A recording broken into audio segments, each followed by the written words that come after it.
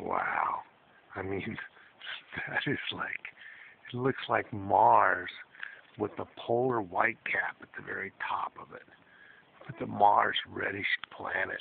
I guess if we were close to Mars and had a little bit more water, that's what it looked like. but it's kind of cool. Sorry that my camera isn't any better, but you know, if you guys can watch on the internet, I mean, as cool as everything. They got probably got space vehicles out there. I mean, why not? It's a beautiful sight. But if I remember my Laurel lore, they uh, there's a dragon eating the moon right now. Man alive, and they, some people will think there's never going to be another side to it. But there is, but it's cool. And I just wanted to point that out. Sorry, there's not much to see.